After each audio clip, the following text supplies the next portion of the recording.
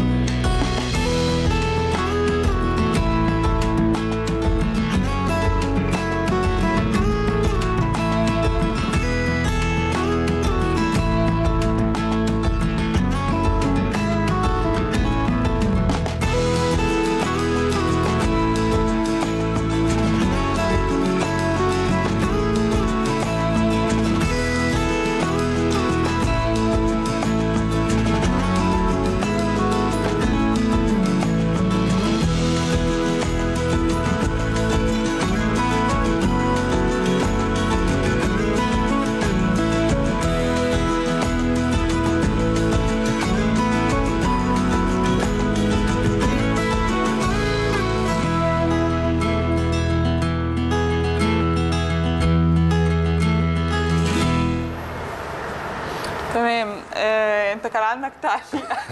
استمع إلى جسد وطرطقي ودانك كده شوفي عايز يقول لك يا إيه. كريم المقصود إن أنت بص هقول لك أنا والله. أنا كنت شغال معاكي. زي الفل في أول أربع خمس نصايح كنت ماشي زي الفل. اشربي. سوائل كتير والراحة والاسترخاء؟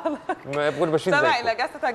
جسدك بمعنى. أوقات أنت مثلا بتكون تعبان وبنضغط على نفسنا ونقوم مثلا خارجين أو آه، فاهم؟ أوقات بيبقى جسمك فعلا محتاج إن هو آه، يشرب حاجة فيها سكر دلوقتي انت تقوم فيجي لك هبوط استمع إلى جسدك يعني شوف جسمك عايز.